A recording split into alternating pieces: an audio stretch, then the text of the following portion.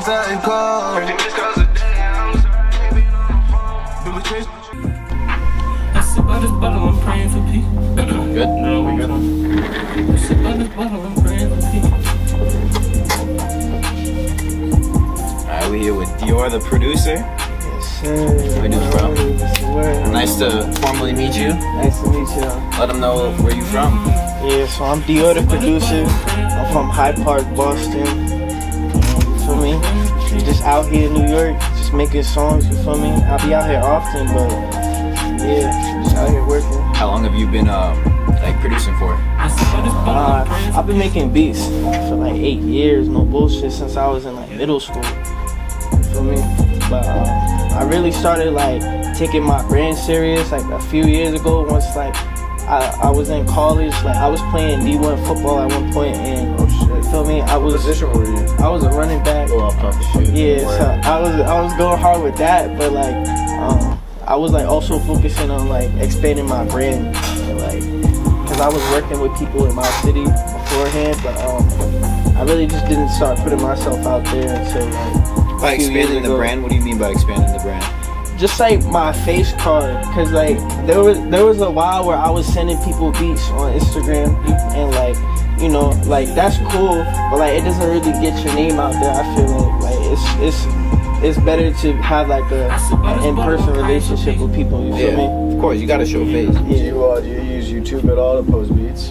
Um, nah. So it's funny you asked that. I don't I don't really post beats no more on YouTube because people started stealing them. Oh But yeah. I post like loop kits. I don't know if you know what that is, but um, Like people can buy the like loose by this bottle, I'm Like, It's like- to on use YouTube, to use it's it. on YouTube. Anyone can steal a beat. Yeah, no, but when you start selling like your own like kit, Yeah, well, what the sample kits or loop kits, they're basically like melody packs. You feel me? Yeah. Because I make my own melodies, so like, I'll, and then you can base it off that melody. right? exactly yeah. So I can I can send that to other producers. You feel me? Because like that way it's easier for me to to work with other people. Like there's people I've worked with that's like across the world, like other countries and shit. Yeah. You feel me? Like I'm just sending them shit, but like it's kind of crazy because like you can like you can expand your network now. Like I feel like in 2024, there's almost no limit to like what you, To you not can do. be able to like yeah. So like that's that's my mindset when I was like thinking of expanding my brand.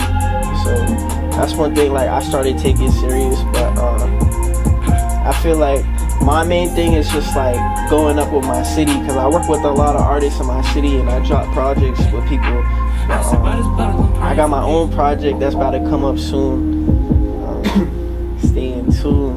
So it's like everyone's like going over the beats that you've made, and then Yeah, so so you know how Metro Boomin be dropping shit Yeah, with like 21. Yeah. I, I do like like a collab album like that. You feel me? Because I feel like a lot of Alright, a lot of producers don't really get their name out there like that. Because like they're just like ghost producing basically. You Yeah. feel me? But like I like having my name. like that's the second the second part of the song. Like it all. Yeah. Like, you feel the me? beats gotta go with like.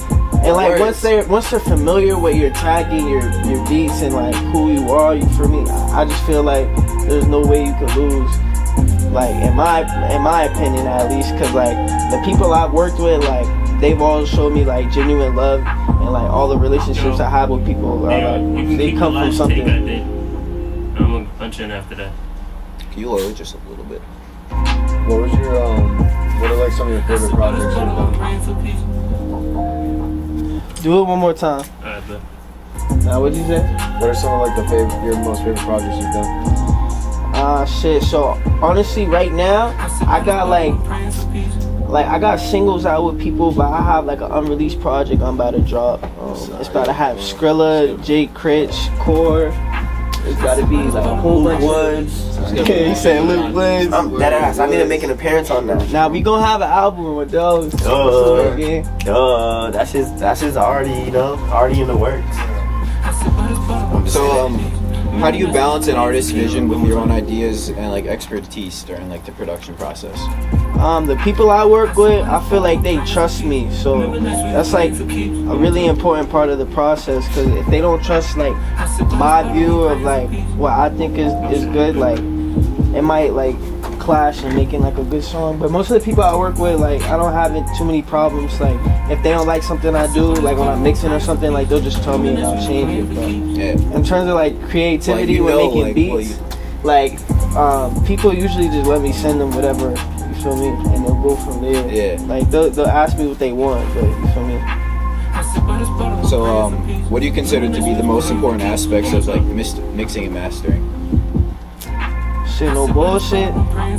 Just like listening to mad music, you feel me? Cause like the more music you listen to, you're gonna hear different mixes, different like flavors almost. You feel me? It's almost like eating at different restaurants. Like you know how some people like have like a certain taste for like expensive ass food. and They, they know those fancy Yeah. ass flavors, bro. That's how I feel as an engineer when I listen to music. Because you're listening to it like at a, you're listening to a different like, I don't know, like part of the song. Like you're not listening to like what. Like I'm listening to- you're listening to like Like I can break down beat, like like- every part of the beat. You feel Yeah, me? yeah. And the vocals and all that. So I mean, I feel like if you you are giving someone like not even like criticism, but like just like some advice, like it'd definitely be worth it to like to tune in like to what he's saying. Like, um, you ever, go ahead, go ahead. Nah, I was gonna say, um, like, where that really came from, like, my confidence in that is just like working with other engineers. Cause I'm not gonna lie, I've been in lots of rooms with, di- like, lots of different engineers. Like, uh, I've been in the studio with Chorus engineers. Like,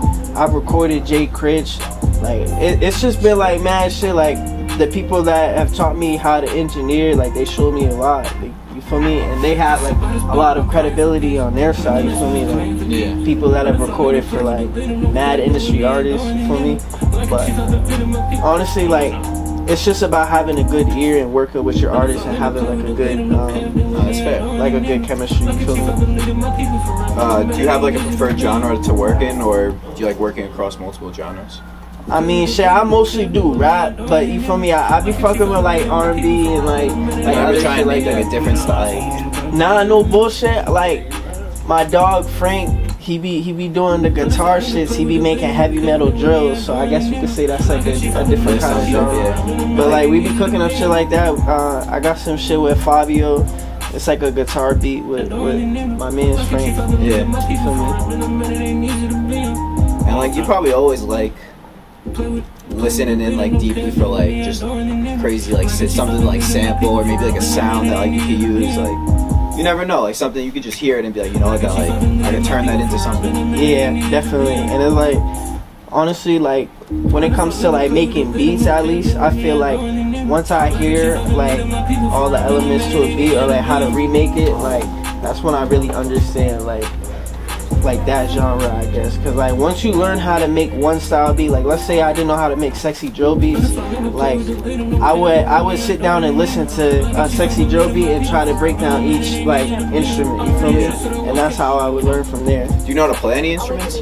Uh, yeah, I be playing the piano a little bit. You feel me? Um, Because I feel like that's what like there's probably people who want to like start making beats and like get into it, but they y'all got Pepsi. they probably feel like they they need to like play an instrument or like Nah, they won't be able to like learn on their like computer because can't you like necessarily use your keyboard as like a chord? Yeah, you could do that too. Like no bullshit. Like I do a lot of shit like that. You feel me? But I, I play the piano only to like like hear what I want. Like it's it's easier to like play what I want to hear. Yeah. If I like, cause I'm familiar with the piano, but like you don't have to be familiar with the piano to make beats. Cause like on FL Studio, like I've seen people finesse like a symphony, like like Beethoven, like on They their be doing the computer, bro. craziest shit like Yeah, bro. No bullshit. So like with all these, like obviously you've worked with a lot of You want to redo that? Yeah. You've worked with a lot of hot artists like that are popping currently. Where do you see yourself going from here? How are you gonna like build on top of that? I mean, shit, no bullshit. I'm in my own lane. Like I don't, I don't want to like copy no one else. I don't have like any like. You feel me? Like I be fucking with like Metro Boomin producers like that, but like for me, no bullshit.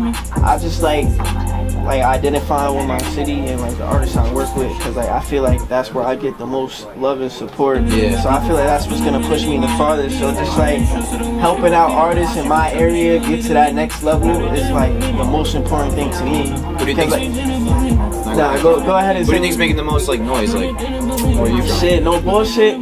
All my dogs here that that's with me is making noise, but you feel me? Like there's a lot of heads in Boston. Um, like I, I got projects with um, Wide Jizzle. I got a project with Michi Columbia. I got a project with Wave Capone coming up. fucking putting in work. Shit. I got Damn. got mad shit. Um, what's the most valuable lesson you've learned like, in your career so far as a producer, engineer? As an engineer, I would just say being ready.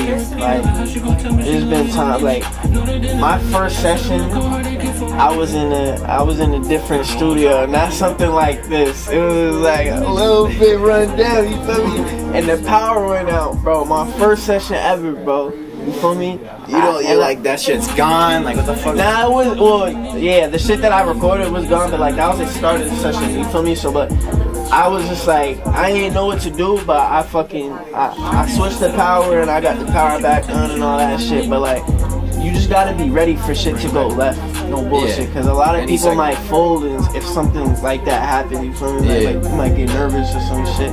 But like, you just really just gotta keep composure and just like use your resources. Cause like I feel like I wouldn't have gotten as far as I've gotten without my resources. Like when so, when some shit goes down in the studio, I know I could call bro. Like yo, Yeah, what- what the fuck do I do? like yo, bro.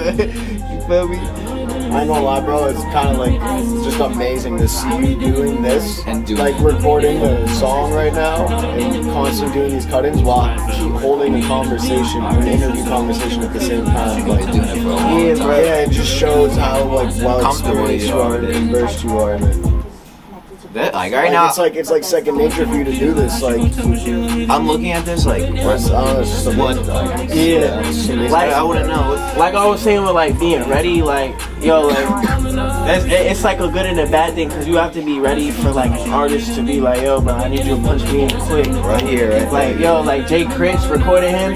He he's recording with like industry engineers all the time. He probably got his go-to guys. You feel me? So like the way that he records, he wants that like Yeah, as yeah. soon as he you feel me, punch in. If he, Consistency, if he messes up, he wants me to punch him right back, Back in. in, feel me? Like so yeah, working with like that has kind of got me like tapped down with this, where it's like second nature for you to just cut in, cut back, like cut out, come back in. Yeah, you feel me? It's just like it's second nature now. It's just like part of the job. You feel me? But like in terms of mixing this shit, that's where like I get like my flavor because I get to add like my own touch and shit. So like after countless hours like in the studio, like working with like completely different people, like what is advice you would give to an artist like when they're preparing for a studio session? Honestly, I would just say try to get with a producer if you can. I know like I feel like getting with the producer is like a lost art now, but like hopefully like people will see what I'm doing and like hopefully like try to work with another producer and go up with him the same way I'm doing with my artist. You feel me? Because I really think having someone else that like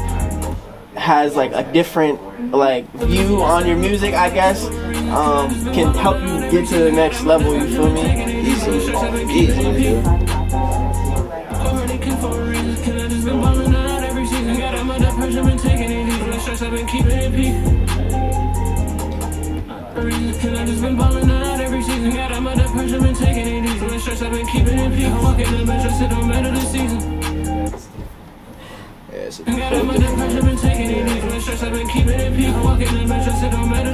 I'm just like, Yeah, just like staring on watching them do this Wish just have been keeping it people walking and watching him do this.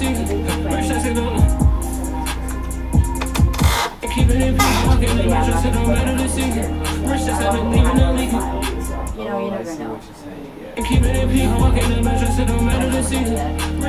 One If only we had like a camera like watching him do that as he's talking to us, just to see how he's literally like doing it at the same time. All right, we'll we'll let you get back to this, but Dior, bro, thank you. I appreciate it. Um, No. Appreciate you, bro. Nah, no bullshit. I be up here a lot, so like, bro, hopefully I can come out here with Frank. No bullshit, cause yeah, I feel like y'all could do mad shit. He- bro, he be, he be like, he needs like studios sometimes. No bullshit.